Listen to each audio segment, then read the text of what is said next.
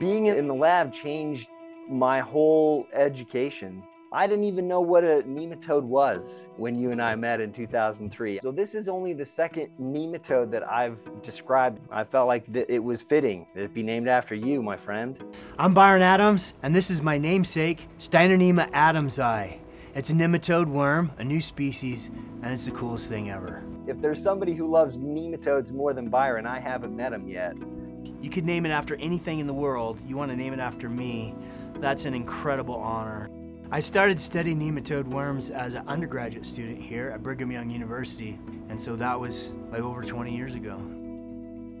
Nematodes are found on the tallest mountains and the bottoms of the oceans. I've found them in desert soils in North America and in very cold, dry places like the McMurdo Dry Valleys of Antarctica. They are the most abundant animal on the planet.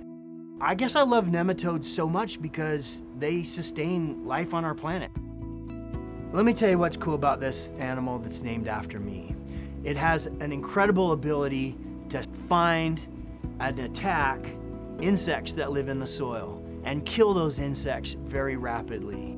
The work that Adler's done to describe this new species is incredibly challenging because a handful of soil from Thailand is probably going to have hundreds of thousands of individuals. And so how do you find the one species that's important for controlling insect pests? One of the biggest unique aspects of the student experience here at BYU is typified by Adler's experience here. He was an incredibly talented undergraduate student. I had a slot on my team to go to Antarctica. He got to see how science is done like at a very big scale. That was an incredible experience. I still think about that just about every day. One of the things I'm most proud of that you taught me that I've continued in my own lab is the importance of including students in the work. So Adler is ambassador of the BYU way, like everywhere he goes. I love seeing my former students on all of these other campuses where they can be, you know, a force for good in students' lives.